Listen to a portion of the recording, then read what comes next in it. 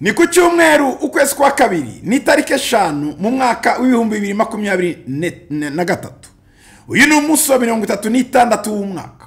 Muri kumwe na aposo dr. Paul gitwaza. Isezerano ry'umunsi.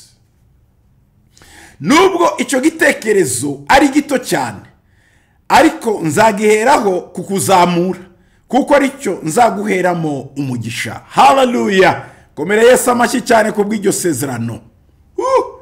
Matayo cumi na gatatu mirongo itatu n'umwe kugeza kuri mirongo itatu na kabiri. Abakira undi mugana ati ubwami bwo mu ijuru bugereranywa n'akabuto ka sinapi. Umuntu yenze akakabiba mu murima we. Nako ni gato hanyuma y'imbuto zose. Nyamara iyo gakuze kaba kanini kakaruta imboga zose kakaba igiti. Maze inyoni zo mu kirere zikaza zikarika ibyari mu mashami yacyo akabuto ka sinapi mwene data ni akantu gato cyane. Niko n'icyo gitekerezo cyakuje mu mutwe ari gito cyane. Ariko iryo jwi rikuganiriza mu majwi yose wumva iryo jwi rito kuruta ayandi. Ndetse ridashobora no kumvikana muri wowe. Icyo gitekerezo izo nzozi iryo yerekwa ryaje mu bitekerezo byawe.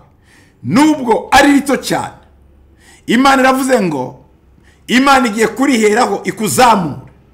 Ngo kuko muri icyo gitekerezo ni ho izaguheramo umugisha. Mana ndagushima ko mva gusenga kwacu ukora ibikomeye n'ibirenze ugakingura imiryango mu buryo budasanzwe. Ndagushima mwami ko igitekerezo nubwo ari gito cyane ugiye kugiheraho kuzana mwene data umugisha.